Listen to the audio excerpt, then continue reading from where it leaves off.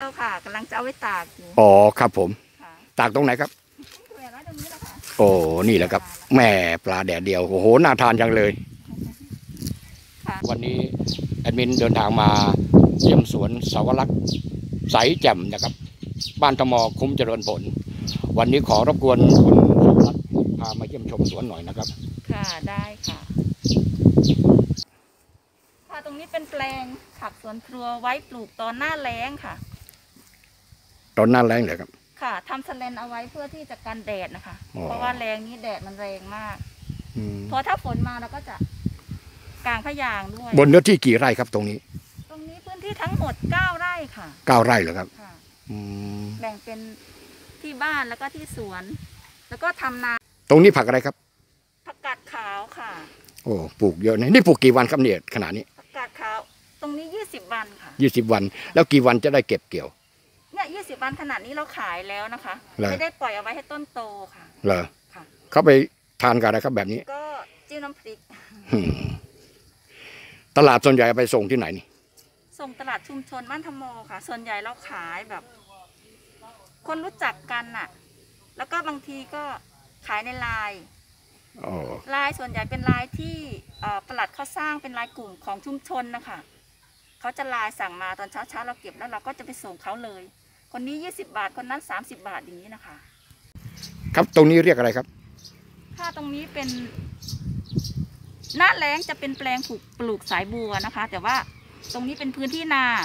เป็นพื้นที่มาพอเราเก็บเกี่ยวเสร็จ ก็จะตัดตอสังแล้วก็ผันน้ำจากคลองฝั่งนู้นมาใส่ เพื่อที่จะเลี้ยงปลา พอเราเลี้ยงปลา ใส่ตั้งแต่ประมาณพฤศจิกาเนาะพฤศจิกาพฤศจิกาธันวามกรากุมภา มีนา แล้วก็จะเก็บปลาแล้วค่ะ ส่วนสายบัวเป็นพืชที่มันงอกงอกขึ้นมาเองค่ะอืมเราก็ได้ผลผลิตจากสายบัวตรงเนี้ยไปขายด้วยค่ะอ๋อปลาก็ช่วงนี้คุณสาวรักษ์ใสแจ่มนะครับกำลังพามาดูแปลงนา ตรงนี้จะทำอะไรต่อไปครับค่ะ ตรงนี้เป็นแปลงนาค่ะ ที่หว่านข้าวเร็ว เพราะว่าน้ำจากแปลงสายบัวนะคะ เราจะต้อง เปิดน้ำออกเพื่อที่จะหว่านข้าว ตรงนี้ก็เลยต้องหว่านข้าวก่อนเพื่อจะเอาน้ำจากเนี้ยมาใส่แปลงข้าวนี้อะค่ะอ๋อคิดว่าค่อนข้งจะถ่ายเทร็วนิดนึงถ่ายเท ใช่ค่ะ เพราะว่า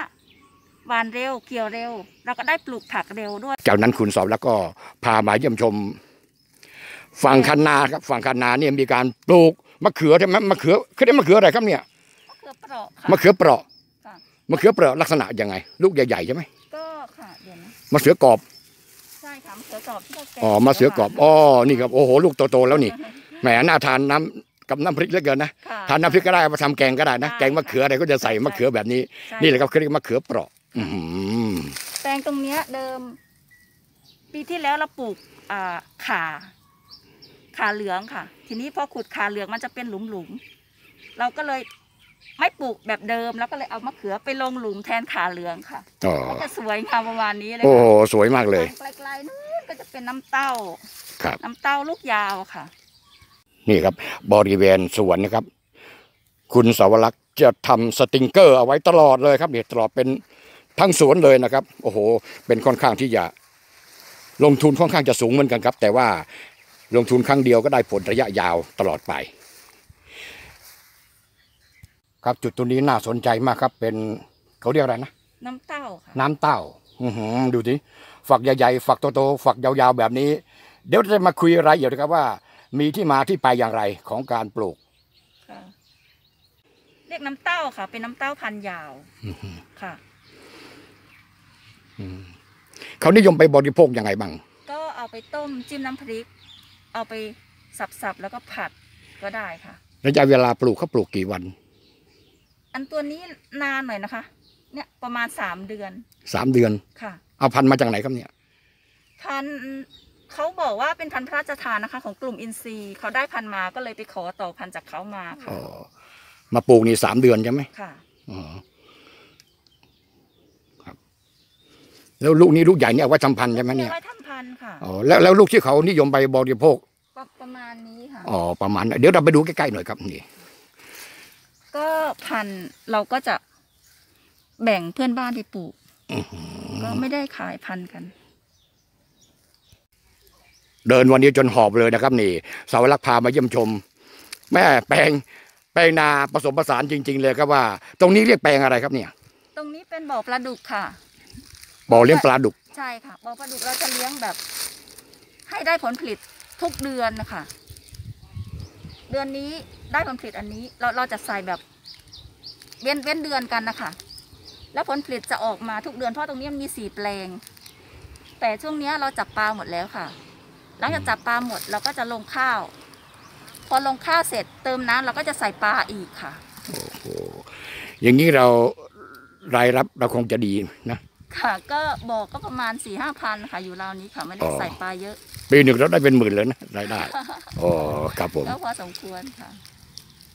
นี่ครับดูพื้นที่นะครับแหมพื้นที่ไม่ ไม่ใหญ่ไม่โตนะครับ แต่ว่าปลูกบ้านสวนแล้วก็สามารถบริหารจัดการพื้นที่ได้อย่างแหม่สวยงามมากเลยนะครับ ตรงนี้ปลูกอะไรบ้างครับ ค่ะ ตรงนี้เป็นขาตาแดงค่ะ ขากินยอดอ่อนนะคะเอาไปต้มอ๋อ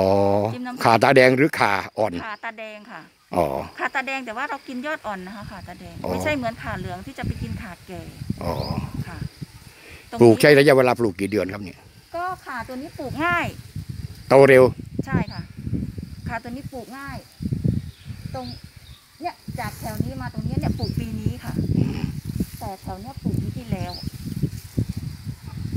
จากจากจากเริ่มปลูกมาพอถึงหน้าแล้งปุ๊บเราเราได้เก็บแล้วค่ะ ง่ายปลูกง่าย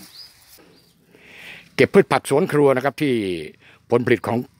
เกษตรกรนี่นะครับ ผักสวนครัวปลอดสารพิษร้อยเปอร์เซ็นต์นะครับแหมเราเห็นผักแบบนี้แล้ว อยากจะทานผักกับน้ำ พริกน้ำจิ้มเอามาผัดคลุกน้ำมันอะไรแบบนี้โอ้อันน่าจะอร่อยดีนะครับ